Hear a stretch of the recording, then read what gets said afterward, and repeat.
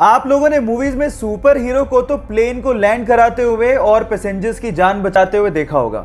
लेकिन real life में भी एक ऐसा इंसिडेंट हो गया जो किसी मूवी के स्टंट से कम नहीं था। ये बात है 2014 की, जब एक पैसेंजर प्लेन को लैंड करना था। लेकिन जैसे ही पायलट ने टायर्स को खोला तो आगे वाला टायर ढंग से खुला ही नहीं। अब अगर उसी सिचुएशन में वो लैंड करवाता तो पक्का कुछ ना कुछ बड़ा एक्सीडेंट होता। लेकिन इतने में होती है हमारे सुपर हीरो की एंट्री विद पिकअप वो एक जीप लेके आता है और आगे के टायर को करवाता है लैंड अपनी जीप में और फिर प्लेन ढंग से लैंड होता है।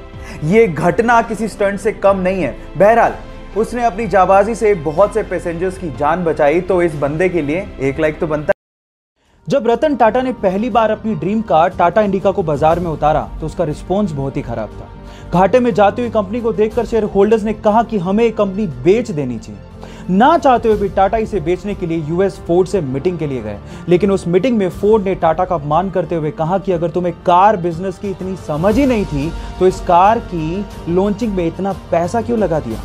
साथ ही साथ एक कहा कि इस कंपनी को खरीद हम तुम पे एहसान कर रहे हैं। टाटा ने यह सुन के कार कंपनी को बेचने से इनकार कर दिया। इंडिया वापस आए और इस कंपनी के लिए इतनी मेहनत की कि इसे वापस अपने पैरों पर खड़ा कर दिया। साथ ही साथ फोर्ड के घाटे में जाते हुए दो luxurious brand Jaguar and Land Rover को खरीद के धमाका कर दिया। गाइस अपमान सभी का होता है। लेकिन महान लोग अपने अपमान का बदला अपनी प्रोग्रेस से लेते हैं। एक बार एक जहाज़ के इंजन ने काम करना बंद कर दिया और वहाँ के लोग उसे ठीक भी नहीं कर पा रहे थे। और इसीलिए एक 40 वर्षीय एक्सपीरियंस्ड इंजीनियर को वहाँ पे बुलाया गया।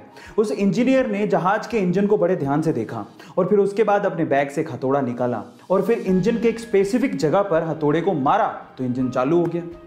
तीन दिन बाद ही उस इंजीनियर ने जहाज़ के मालिक को लगभग दस हज़ार डॉलर का एक बिल भेजा।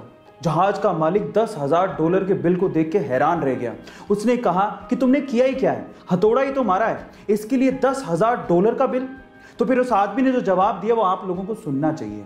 उसने कहा कि हथौड़ा मारने के तो मैं सिर्फ़ दो डॉलर ही चार्ज कर रहा हूँ, लेकिन हथौड़ा कहाँ मारना है?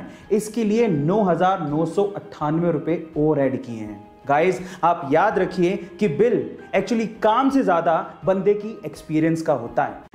कई बार कुछ लाइनें लिखने में बहुत छोटी होती हैं, लेकिन उनका मतलब इतना गहरा निकलता है कि वो दिमाग पर सीधे असर डालती हैं। उन्हीं में से एक लाइन में आज आप लोगों को सुनाने वाला हूँ, जरा ध्यान से सुनेगा। किसी ने कहा था कि पुराने जमाने में फ़ोन जब तार से बंधा होता था तो इंसान फ्री था। लेकिन आज जब फ़ोन वायरलेस है तो इंसान उस छोटे से डिवाइस के साथ चिपका रहता है, यानी कि अपनी आज़ादी को खो चुका है। गाइस, आप इस बात से कितना इत्तेफाक रखते हैं, कमेंट सेक्शन में ज़रूर लिखेगा और ऐसे अमेजिंग वीडियोस के लिए शेयर सब्सक्राइब एंड लाइक मिलता है अगली वीडियो में.